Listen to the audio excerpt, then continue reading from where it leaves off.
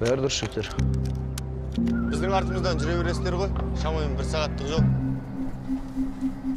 Не болды жігіттер? Білмеймін бомба сығызып кетті ғой деймін. Ауыл әлі алыс па? Азақ қалды.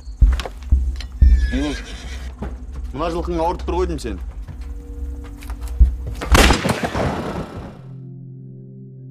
аллаху акбар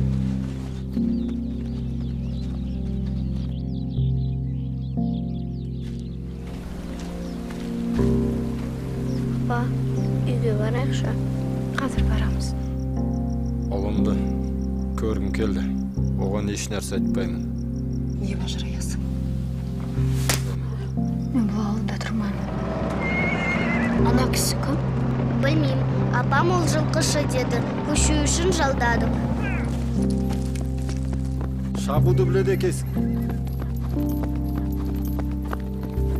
Әкем үйретті мынау саған Рахмет. Анау сағат әкемдікі.